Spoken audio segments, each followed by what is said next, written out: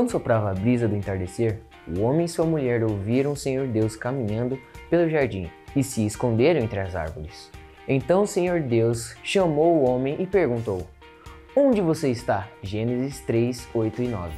O único lugar que foi permitido a Satanás interagir com Adão e Eva foi a árvore do conhecimento do bem e do mal. O Éden era um local perfeito que trazia muitas felicidades para Adão e Eva.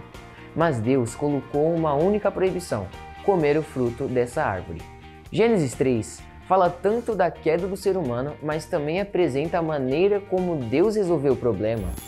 A mentira de Satanás foi desmascarada quando tiveram que deixar o jardim e não mais comer o fruto da árvore da vida. Logo viram as consequências da desobediência na própria vida e na vida de seus filhos. Infelizmente, somos os protagonistas nessa história e com frequência ouvimos a voz de Deus perguntando: Filho, onde estás? O disfarce tem sido a estratégia mais antiga de Satanás para enganar. Com Eva, ele usou a serpente, que era uma das criaturas mais inteligentes e belas do jardim. Seu corpo brilhava como ouro polido e ela voava. Por intermédio desse animal, o inimigo alegou que estava falando por ter comido do fruto da árvore proibida. A bagunça feita no Éden foi terrível, mas a reação de Deus ao pecado é impressionante.